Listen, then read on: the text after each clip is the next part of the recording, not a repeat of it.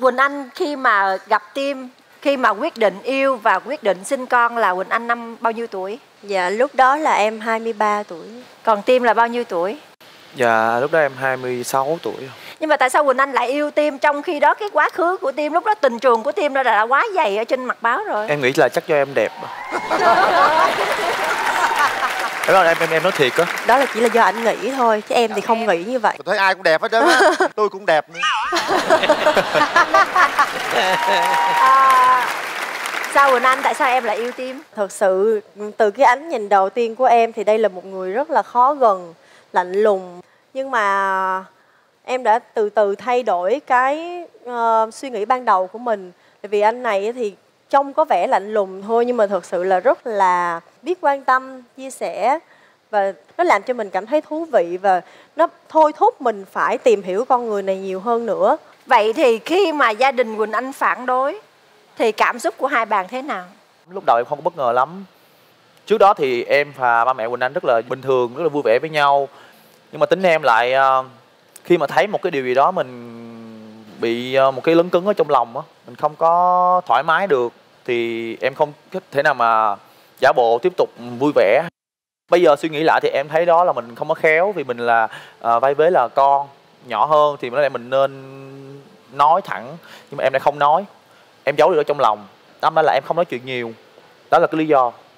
Còn Quỳnh Anh Thật sự ra ở cái độ tuổi đó thì em đã hiểu được thế nào là đúng, thế nào là sai rồi. Cái người khó xử nhất chính là mình, là cái người ở giữa. Nhưng mà mình nghĩ lại từ hồi nhỏ đến lớn em là một đứa rất là ngoan, chưa bao giờ ba mẹ em phải la mắng em bất cứ một điều gì hết. Cho nên là em nghĩ là lần này coi như là quyết định cho bản thân mình. Em sống theo cảm xúc rất là nhiều em không cần anh tim phải thương em thật lòng phải chăm sóc cho em mỗi ngày đến suốt cuộc đời em chỉ cần em được ở bên cạnh ảnh là đủ rồi Sau khoảng thời gian mà Quỳnh Anh ờ, cảm thấy quá chán nản với sự vô tâm này thì khi cô ấy uh, dẫn con đi Đó là có thể nói là đó là một cái nhát dao, một một cái uh, gáo nước lạnh Để cho em tỉnh ngộ lại. Thì em mới thấy được là uh, mình quá y y Quá y y vào uh, cái tình yêu của Quỳnh Anh dành cho em Và cái chuyện gì cũng có thể xảy ra hết. Và từ đó thì em mới ngộ ra được là mình phải làm gì để giữ cái gia đình này. Còn nếu như mình cảm thấy điều đó không quan trọng không trân trọng thì mình chỉ cần đứa con thôi.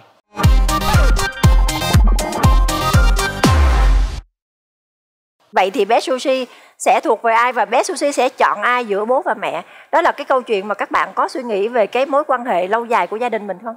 có. Thật ra hiện tại bây giờ cả hai đứa đều cái tôi nó quá quá lớn. Chưa ai nhận ai sai hết. Em đã từng nghĩ hay là mình thử hy sinh một lần. Nhưng khi nói chuyện với nhau qua lại tụi em nó bị khắc, khắc khẩu nói chuyện hơi khó chịu là thôi bỏ không vậy nữa. À, lại tiếp tục như vậy cho nó an toàn. Tại sao? Vì một cái tôi mà em biết là em đang cái tôi đang lớn, em là đàn ông, em là người cha, em là người chồng, em không nhường cho vợ. Ờ, trước khi ờ, em trả lời câu hỏi đó thì em cũng muốn hỏi Quỳnh Anh một câu. Em có còn yêu anh không?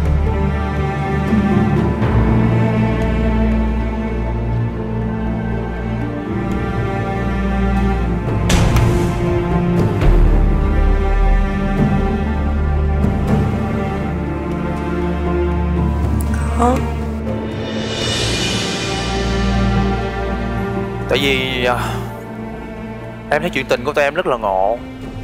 Từ à, là hai người tình nhân Có con Rồi à, em cũng bỏ qua cái tôi của mình Để mà em cầu hôn. Sau cầu hôn là một cái điều em không hề mong muốn. Hai tụi em đều rất là trân trọng cái gia đình này Và đều muốn nắm chặt tay nhau bảo vệ đứa con của mình. Nhưng nhiều khi em trách Quỳnh Anh nhiều cái Tại sao không có thể dũng cảm, mạnh mẽ một lần? Cùng với em để bảo vệ gia đình này. Ờ, câu trả lời của Quỳnh Anh là gì em? Ờm, em đang ở trong một cái thế rất là khó. Bước tới cũng không được lùi lại cũng không xong. Là bởi vì trong đầu em lúc nào nó cũng lấn cấn một chuyện đó chính là cái thời tuổi trẻ của mình mình đã mặc kệ ba mẹ giận hờn mình như thế nào đi nữa.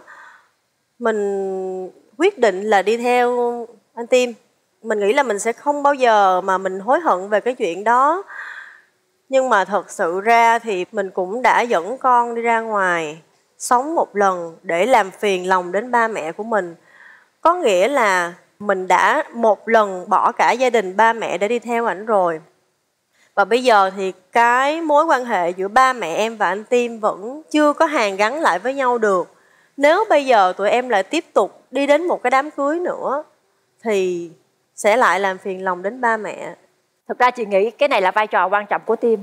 Em là một người đàn ông em đang muốn gìn giữ gia đình của mình em muốn quỳnh anh mạnh mẽ thì em phải cho quỳnh anh cái lý do đích thực để em phải em dạ. phải phá vỡ cái bức tường ngăn cách của em với lại ba mẹ quỳnh anh trước.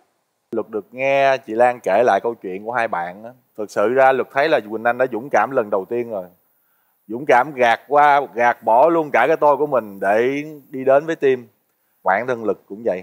Ngày xưa cái tôi lực cũng lớn, khi mà lực đến với trang cũng vậy. Ngày xưa lúc mà luật mới về là, luật mới về ba ngày là luật đã gây, luật gây với mẹ trang luôn. Hai hai mẹ con không nói chuyện luôn. Ba chú, ba của trang chỉ nói luật câu là ờ tao biết mày là thằng bụi đời từ nhỏ. Tao cũng là thằng bụi đời từ nhỏ. Nhưng tao chỉ hỏi mày một câu thôi. Mày thương vợ mày không? Thương.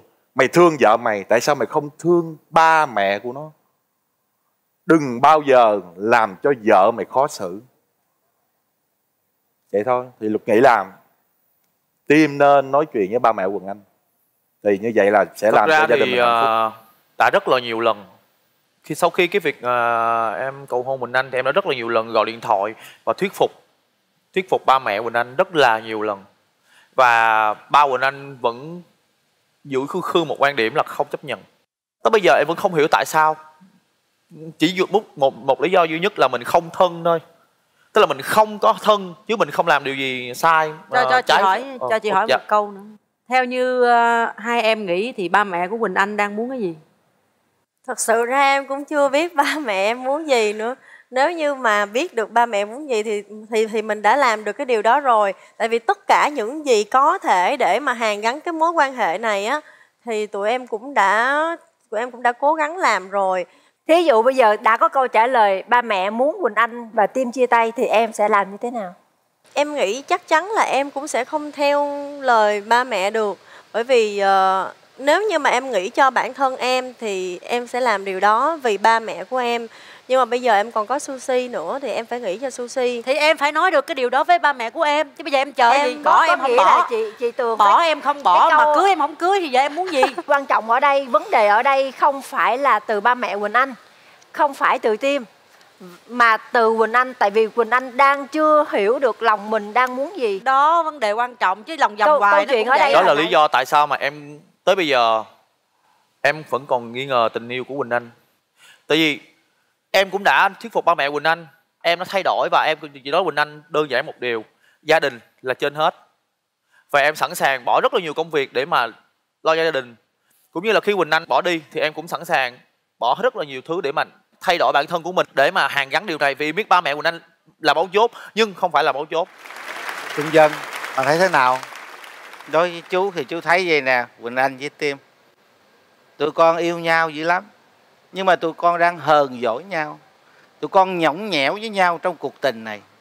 Và tụi con lấy những cái cớ là gia đình để con, con tự tạo một cái áp lực. Và tụi con dễ dàng cho cho mọi người biết được cái bí mật của tình yêu của tụi con. Tốt nhất là nên hạn chế.